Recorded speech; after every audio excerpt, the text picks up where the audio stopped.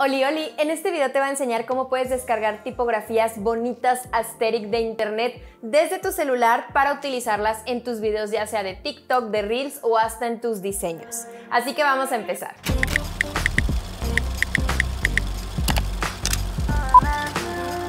Oli Oli, bienvenidos a mi canal, yo soy Jimena con J y como ya vieron en la intro y en el título del video, hoy vamos a platicar de tipografías, de cómo pueden descargarlas de manera gratuita desde su celular y cómo las pueden instalar en aplicaciones ya sea como InShot, CapCut o hasta Canva para tener diseños.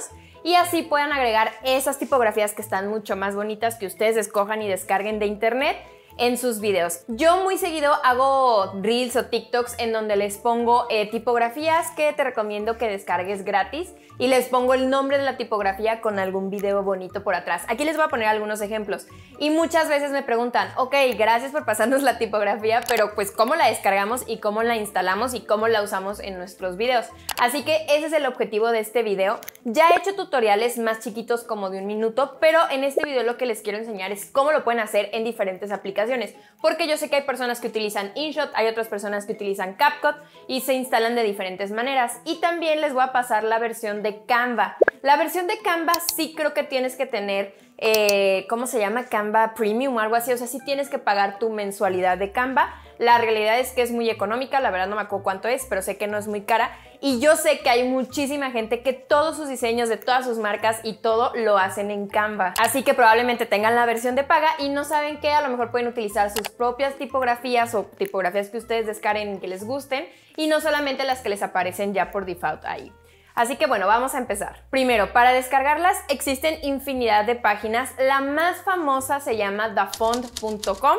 Esa es la más famosa y todas las tipografías que tienen en esa página son gratuitas.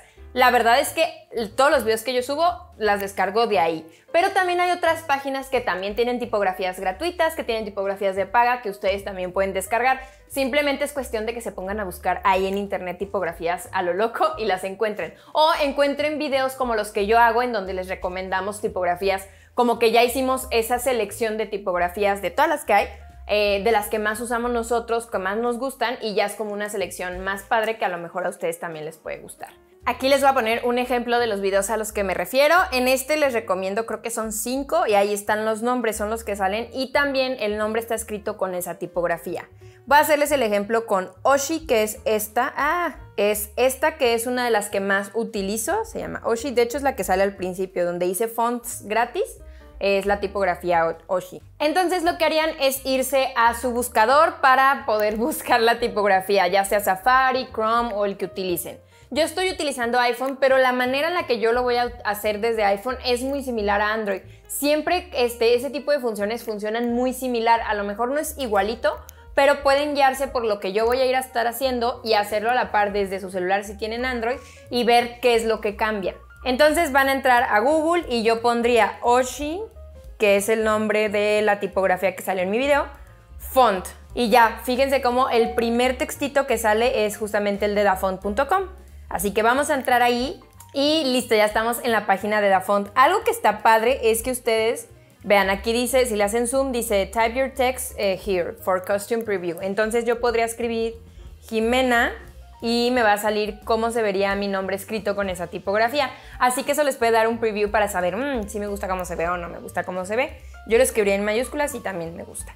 Entonces ya, dicen, ya vieron que queremos descargar esta, le vamos a dar download y me va a salir, ¿quieres descargar oshi.zip? Porque te va a descargar una carpeta zip.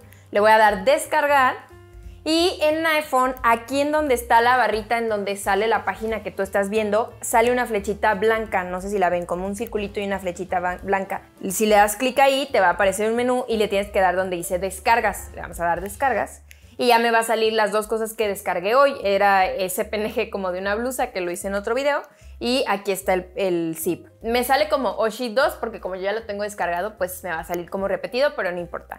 Así que le damos zip y automáticamente cuando yo le pico me va a mandar a mis archivos de mi celular, a la carpeta de archivos.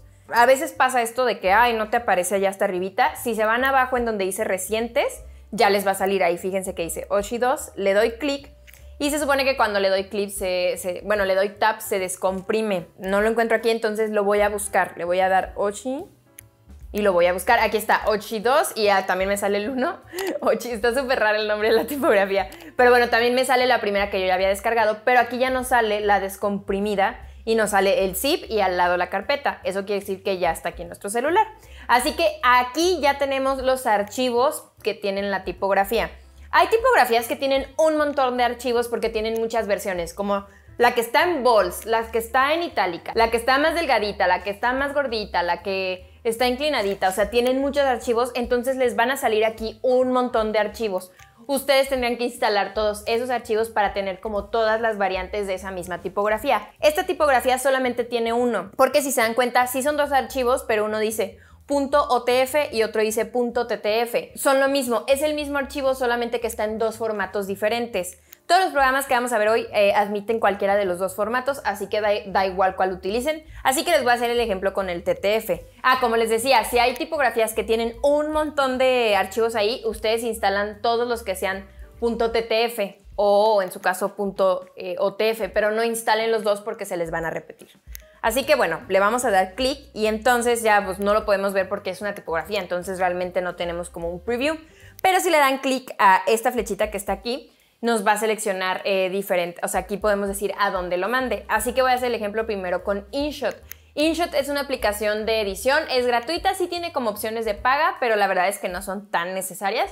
Y está disponible tanto iPhone como para Android. Y es, la verdad, es la aplicación que a mí más me gusta para editar pero últimamente he utilizado más CapCut porque tiene también otras funciones. Entonces le voy a dar InShot y automáticamente me va a mandar a la aplicación y ahí me va a decir importado, importado con éxito.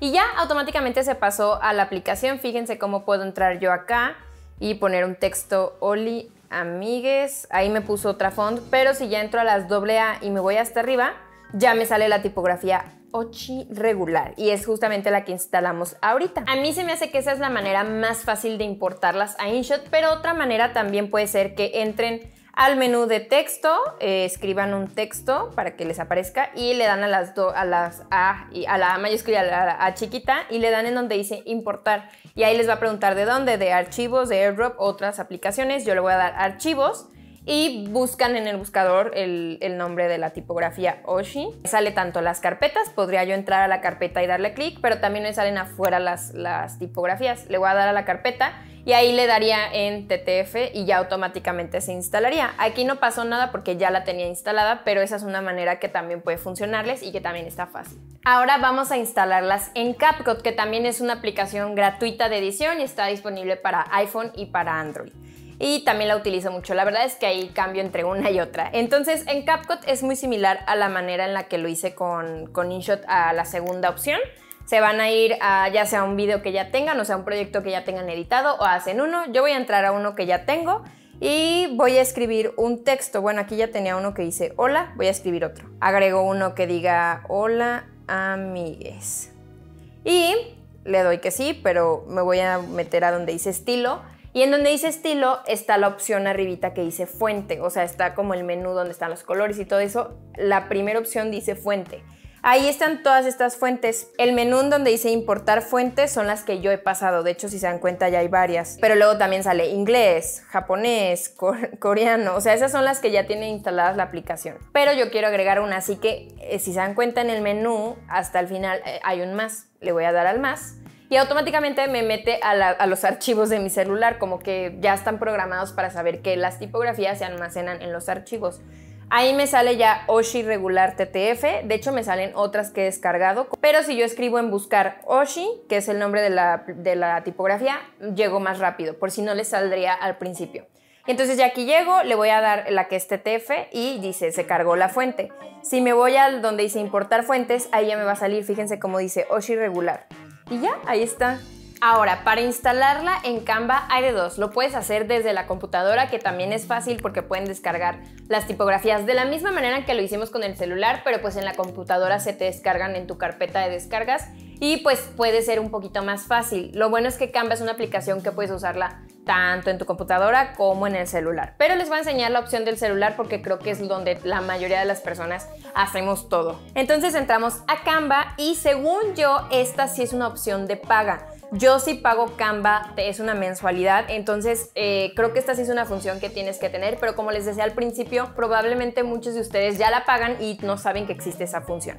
Así que nos vamos a ir a, a Canva, entramos y luego a donde dice menú y luego en donde dice herramientas a donde está marca. Ahí van a entrar y se supone que ustedes aquí pueden pasar eh, toda la información de su marca, por ejemplo, su logo, sus colores institucionales, gran parte de eso es tu tipografía, para que todo tu branding esté en Canva y cuando ya hagas una presentación eh, o cualquier cosa que hagas un diseño para tus redes o lo que sea, ya esté como todo tu branding aquí y ya es mucho más fácil diseño. Y si se dan cuenta, hasta abajito hay una parte en donde dice fuentes de la marca. Ahí es donde ustedes van a subir esta fuente. Entonces le vamos a dar subir fuente y como siempre los va a mandar directamente a archivos. Todos funcionan más o menos igual. Vamos a pasar la de Oshi regular que ya me apareció ahí, pero si no me apareciera pues la busco en la lupita. Oshi regular me va a decir que sí, que sí, que sí lo quiero. Subir fuente personalizada, que le vamos a dar sí, subir fuente. Va a tardar un poquito, pero pues es una nada. Y listo, ya se pasó. Si se dan cuenta está lo de estilos de texto y al lado dice fuentes subidas.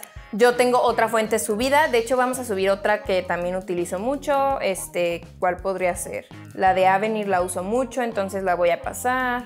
Ya tengo tres tipografías y podríamos decir que esas son las tipografías que yo más utilizo. Y así prácticamente con eso podrían ustedes mantener como un branding y todo más uniformado. A mí me gusta mucho mezclar varias tipografías, o sea, realmente yo ahí sí cometo el error de no utilizar como un branding específico, al menos en mis videos de redes, en mis cosas de cotizaciones, Media Kit y todas esas cosas sí mantengo como el mismo branding o en mis presentaciones o mis cursos, pero en la parte de redes ya mis reels y TikToks, la verdad es que me gusta jugar con tipografías y probar nuevas tipografías porque ando muy cambiante, entonces pues bueno, eso ya es decisión de cada quien pero esta es una manera en la que pueden uniformar más todo su contenido. Y listo, prácticamente es todo por el video. Creo que es un video bastante cortito, pero es que es una función muy sencilla, pero también es una función muy útil, así que por eso quise hacer un video especial para que se quede en mi canal y cada vez que me pregunten eso les pueda decir de que mira este video del canal para que así lo puedas hacer más fácil.